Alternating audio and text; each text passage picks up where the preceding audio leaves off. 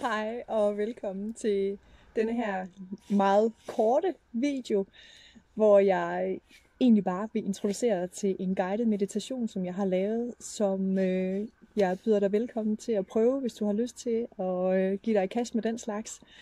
Det er en guided meditation, som øh, giver du mulighed for at undersøge, hvad der vil ske, hvis du øh, skubber med energierne i magisk sammenhæng. Øhm, og derfor så vil jeg anbefale dig, at du har lavet en lille smule forberedelse, inden du bruger den guidede meditation.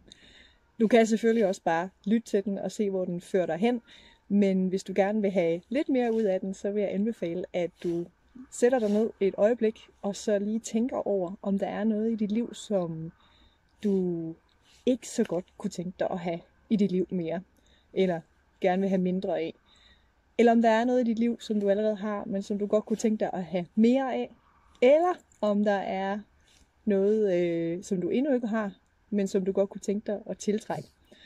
Når du har det lidt i øh, tankerne, så øh, vil jeg netop invitere dig med til at øh, komme på guided meditation, altså en indre rejse, hvor du får mulighed for at udforske det, hvad der vil ske, hvis du på magisk vis skubber til energierne, og derved begynder at ændre dit liv, øh, alt efter hvad det er, du ønsker at ændre.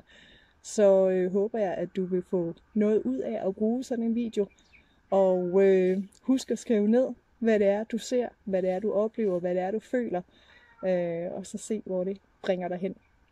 Jeg ønsker dig en rigtig god rejse, øh, og øh, glæder mig til at høre, om det var noget, du kunne bruge til noget. Og så øh, rigtig glædelig Samhain, eller Samhain, eller Halloween, fordi det står lige for døren. Det er også derfor, den her øh, guided meditation netop er ret interessant, fordi det bygger lidt på de energier, som er omkring os øh, netop nu, med at øh, vi på årshjulet ser, at naturen trækker energierne ind i sig, og det er også derfor, at den guidede meditation er designet til, at vi øh, går dybere ind i os selv og ser, hvad der vil ske, hvis vi begynder at lave om på tingene indenfra. Øh, det var bare det, jeg gerne ville sige for den her omgang. Kan du have det rigtig godt? Måske ses vi igen en anden god gang. Hej hej.